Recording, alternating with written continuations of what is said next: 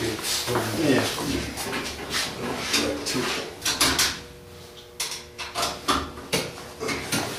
the main switches, the only reason that you may want to cycle the main switches if there's some kind of, um, you know, a malfunction in the evening that you don't want to have to call somebody out for. You could try turning the power off on the affected elevator. It's car one or car two and they're labeled.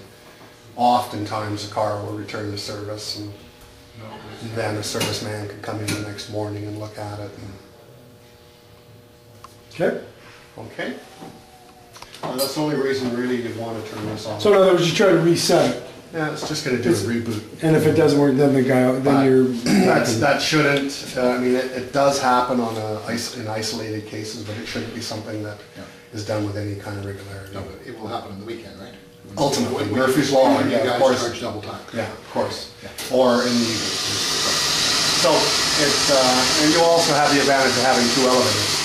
So you can also leave it just down, uh, malfunctioning, which is always Ernie- the best Ernie- case scenario, right? Ernie'd have a heart attack to call somebody on the weekend, it's five hundred bucks an hour. Uh, No, I mean, it's best if you can, without it, without, there's the touch-up. We have a Oh, that's the a touch- express system in the building, the whole building, okay, you know.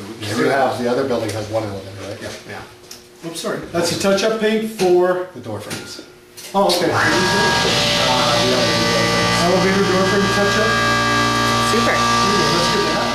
doors, the floor, Yeah. some kind of a software glitch or something, or it doesn't do it correct resync. What'll happen is, it'll affect the other elevator. If it's here, and it thinks it's the next car to operate, when you push the button, the other car won't open the door. Okay. So if you get a situation like that, where all of a sudden one of your elevators stopped working, then shut it off. Okay, would it stop on the floor? so you can open manually? So, Okay, if, if the situation, we have one day elevator here, if this one comes up to two, will it stop on that floor so it can be opened manually?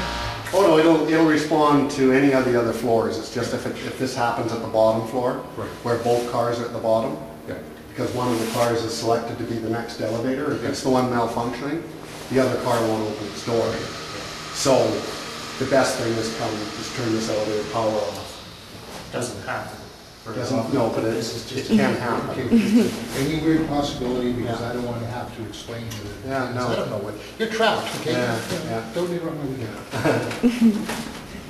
So that'll be helpful because, um, now we won't park on both of the main floors, but ultimately at some point